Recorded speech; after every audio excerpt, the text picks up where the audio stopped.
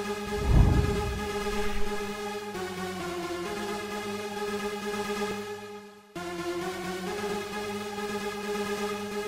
We are getting word that an earthquake measuring 7.8 has just struck the coastal town of Projamin, which many of you know is home to Chef Louis, or at least Chef Louis' studio. We're happy to report that absolutely no one was harmed. But, on a very sad note, Chef Louis' studio was hit pretty bad, and the earthquake struck just as he was starting his cooking program. He was about to make his famous Chef Louis pizza. We're not entirely certain what Chef Louis is going to do, but we have heard from a reliable source that Chef Louis intends to go on with his show, but at another location. And at this time, we can't even venture a guess as to where that would be. We will be getting back to you regarding Chef Louie's cooking show just as soon as we have an update for you.